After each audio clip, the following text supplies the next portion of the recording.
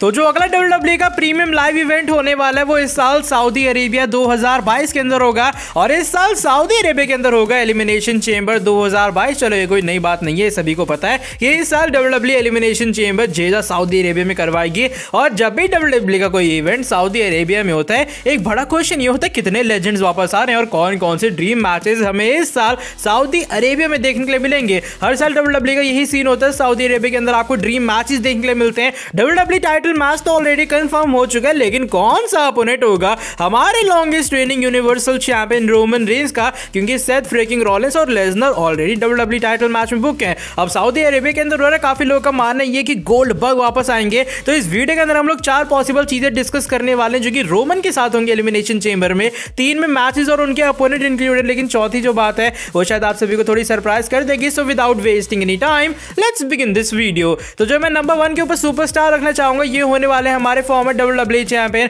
former royal rumble winner of course मैं बात कर रहा हूँ the Scottish warrior Drew McIntyre के बारे में। हमने देखा thirty minutes royal rumble match के एंडिंग के अंदर ड्रू मैकिंटार बचे हुए थे और आखिरी में लेजनर ने उन्हें एलिमिनेट किया। उसके बाद ड्रू मैकिंटार ने अपने इंटरव्यू में कहा भी कि भैया लेजनर ने उनके सारे सपने वगैरह छीन लिए। वो ऑडियंस के सामने फैंस के सामने एक मोमेंट चाह रहे थे, जो कि शायद उन्हें इस साल मिल सकता था, लेकिन अनफॉर्चुनेट वे में लेजनर ने उन्हें एलिमिनेट कर दिया। अब जिस तरीके से मैकिंटार की इस मैच के अंदर बुकिंग हुई, इससे साफ़ पता लग गया कि डब्ल्यू डब्ल्यू रिटर्न के बाद भी, एक लंबे टाइम बाद भी मैकिंटार को एक स्ट्रॉन्ग वे में बुक करने वाली है। और आगे से क्लीन साइन भी हो सकता है हम सभी के लिए कि एलिमिनेशन चेंबर 2022 के अंदर रोमन वर्सेस ड्रू मैकिंटार का मैच हो सकता है। इस मैच की होने की पॉसिबिलिटी या फिर चांसेस ज़्यादा इसलिए भी हैं, क्योंकि पहले रोमन वर्सेस जो ड्रू मैकिंटार का मैच है, वो रॉयल रेबल 2022 में होने वाला था, लेकिन ड्रू मैकिंटार को इंजरी होती है, वो डब्ल्यू से बाहर जाता है डब्ल्यू को मौका मिलता है। Finally Roman versus Seth Rollins के मैच करवाने का, जिसका हिसाब भी फ़िलहाल थोड़ा मैं कहूँगा पेंडिंग टाइप से क्योंकि डिस्कालिफिकेशन से सेथ की विक्ट्री हुई,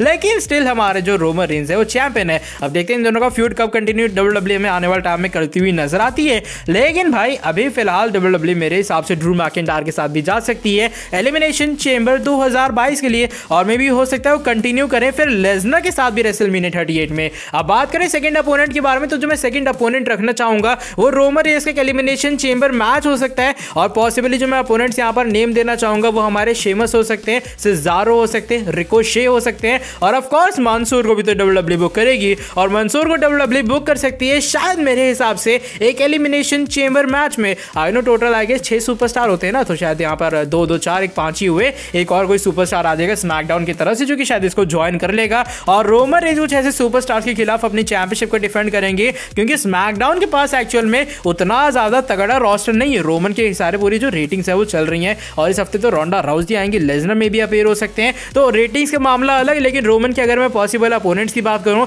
तो यहाँ पर ज़्यादा कुछ डब्ल्यू के पास खास लिस्ट नहीं है। तो इसलिए मेरे हिसाब से अगर elimination chamber by chance match हो जाता है ना रोमन का डब्ल्यू लगता है, नहीं भैया रेसल मीने थर्टी आ रहा है रोमन को डोमिनेट वे में बुक करना चाहिए। तो शायद ऐसा कुछ मैच हमें देखने के लिए मिल सकता है, जहाँ पर ये कुछ सुपरस्टार फेस करेंगे रोमन रेस के एलिमिनेशन चेंबर मैच में। और ऑफकोर्स इसके चांसेस भी काफ़ी अच्छी खास है। अब जो मैं नंबर थर्ड के ऊपर रखना चाहूँगा अपोनेंट रोमन रेंस का सऊदी अरेबिया 2022 के अंदर एलिमिनेशन चेंबर 2022 के लिए वैसे कहने को ये ड्रीम मैच है, पहले होने वाला था डब्ल्यू डब्ल्यू में। लेकिन जब सऊदी अरेबिया की बात आती है, भैया कोई मैच, ड्रीम मैच नहीं होता, यहाँ सारे मैचेस पॉसिबल होते हैं। It's Goldberg versus Roman Reigns it's spear versus spear और जिस तरीके से गोल्डबर्ग अपने लास्ट मैच में शेप में थे, उसके बाद इस मैच को देखने के लिए मैं डेफिनेटली और भी ज़्यादा एक्साइटेड हूँ। पहले रोमन रेंज वर्सेस जो गोल्डबर्ग का मैच है, वो होने वाला था फाइनली रेसल मिनट थर्टी के अंदर। पैंडेमिक आता ये जो मैच है, वो होता है डब्ल्यू के एक छोटे मोटे से वेन्यू में। वेन्यू में नहीं एक्चुअल में उसमें परफॉर्मेंस सेंटर के अंदर। तो उसके बाद जो रोमन रेंज है डब्ल्यू से थोड़े टाइम के लिए ब्रेक लेने का ट्राई करते हैं और रोमन इस वाले मैच को लीव कर जाते हैं। इसलिए जो ड्रीम मैच है, वो पेंडिंग का पेंडिंग रह गया।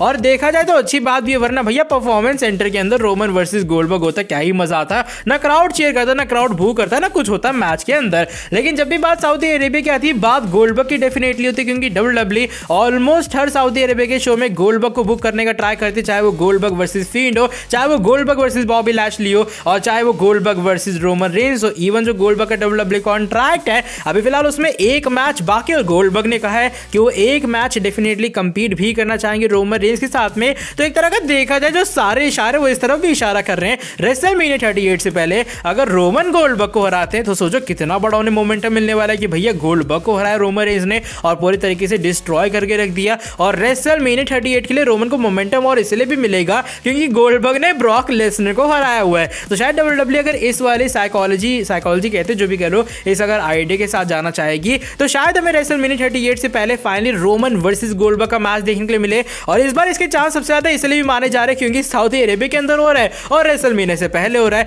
तो शायद फाइनली हमें एलिमिनेशन चेंबर 2022 में रोमन रेंज वर्सेस गोल्डबर्ग भी देखने के लिए मिल सकता है। अब बात करें फाइनल चीज़ के बारे में, जो कि रोमन के साथ हो सकती है एलिमिनेशन चेंबर 2022 में।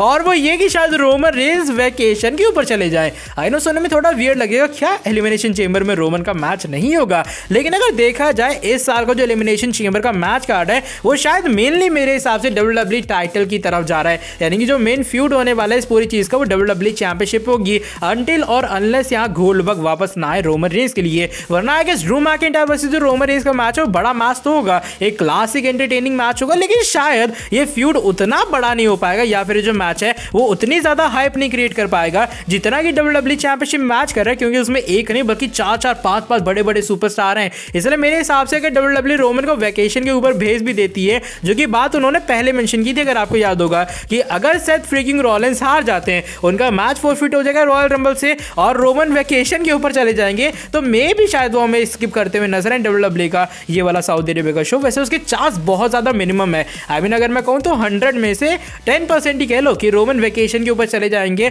और वो स्किप कर देंगे सऊदी अरेबिया का शो वरना भैया डब्ल्यू डब्ल्यू रोमन को नहीं छोड़े ना, और वो भी टिकट सेलिंग के लिए। ऐसा कभी होता नहीं डब्ल्यू डब्ल्यू में, लेकिन फिर भी मेरे दिमाग में आइडिया लगा। आई मीन जो भी कह लो आइडिया आया तो मुझे लगा क्यों ना वीडियो के अंदर डिस्कस कर दिया जाए। तो भाई, ये वो पॉसिबल चार चीज़ें जो कि मेरे हिसाब से रोमन रेंज यानी कि हमारे लॉन्गेस्ट रेनिंग यूनिवर्सल चैंपियन के साथ हो सकती है। एलिमिनेशन चेंबर 2022 में, आपके हिसाब से क्या होने वाला है? क्या रोमन एक एलिमिनेशन चेंबर मैच में होंगे? क्या वो फेस करने वाले फाइनली गोल्डबर्ग का, या फिर स्कॉटिश वॉरियर ड्रू मैकिंटायर आएँगे? और मैकिंटायर वर्सेस रोमन होगा या फिर जो रोमन रेंज है। एक सरप्राइज़ वाले वे में स्किप करेंगे सऊदी अरेबिया के शो को। और फिर से मैं कह रहा हूँ, इसका चांस बहुत ही ज़्यादा लो है। अब मुझे नहीं पता मैंने वाहियात वाले प्रोडिक्शन क्यों कर डाली। बाय द आज की वाली वीडियो बस यहीं तक थी। अगर ये वाली वीडियो पसंद आई, पता नहीं क्या करना है। फटाफट से कर देना नीचे वीडियो को लाइक और चैनल को सब्सक्राइब करके कर देना बेल नोटिफिकेशन को। और मिलता हूँ आपसे आके नेक्स्ट वीडियो के अंदर बहुत ही ज़्यादा जल्दी। Till then bye bye take care